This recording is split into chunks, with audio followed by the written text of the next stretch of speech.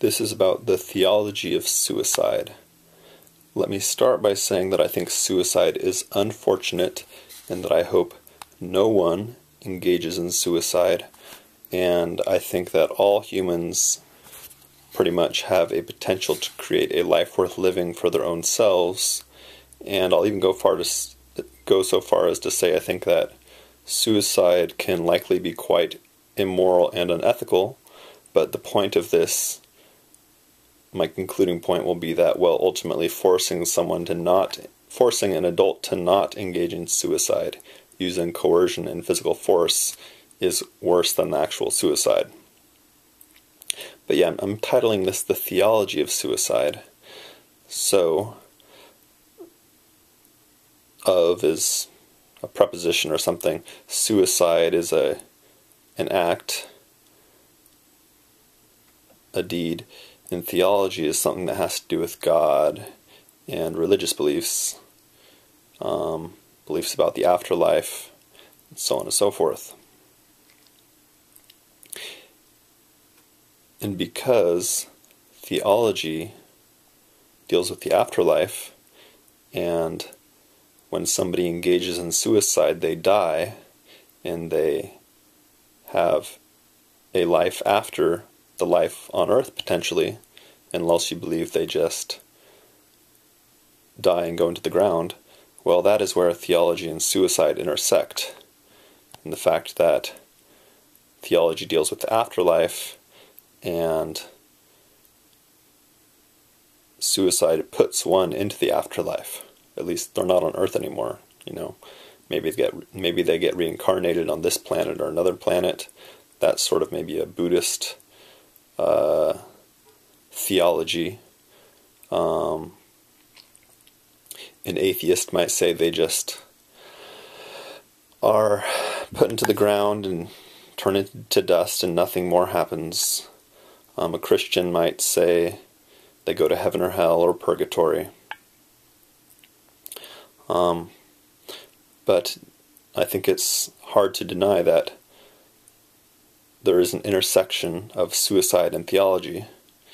So, suicide, rather than being a medical issue, seems to be a moral and philosophical and potentially theological issue, and therefore, in a great part because of that,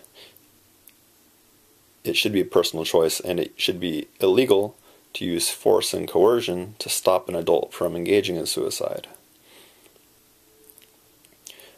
I definitely think we should use peaceful persuasion to try and persuade individuals to keep living on earth and to create a life worth living for their own self. But I don't think we should force individuals to.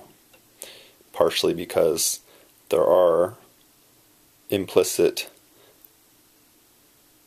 religious slash theological aspects of suicide if we are forcing a particular moral stance regarding a suicide on someone, actually using physical force, well, I think that is not necessarily respecting their implicit or explicit positions about what happens after they die because of the 30,000 or so people that kill themselves just in the United States each year, chances are that they think whatever's going to happen after they die is better than what's happening, than what they're experiencing on Earth at that time.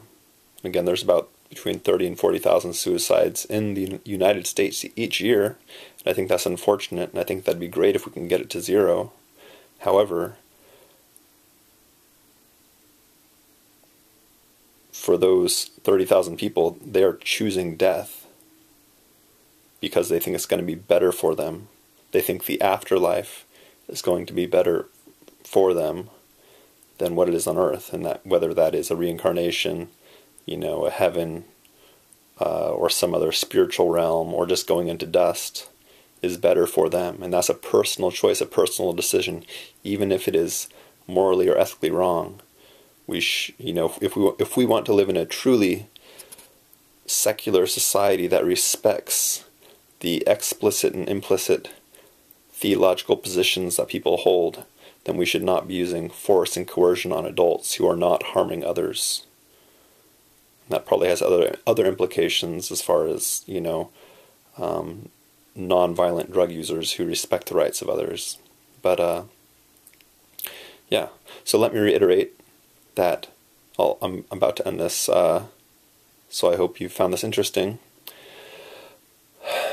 Again, I hope that we as a society here on Earth, as a, as a race, as a species of, of humans, not a race, as a species, that we can help eliminate suicides and that no adult wants to engage in suicide. I don't think, uh, you know, and I think if we can help people using kindness and persuasion, then we could potentially make that happen. But I think using coerce and force, coercion and force, is likely just making the problem worse ultimately. And we shouldn't do that. I'm all, I'm all for voluntary counseling and psychiatry. It's just the involuntary that I think's an abuse of human rights. So, uh, yeah, um, I guess I'll end it there. Thanks for watching. Please subscribe.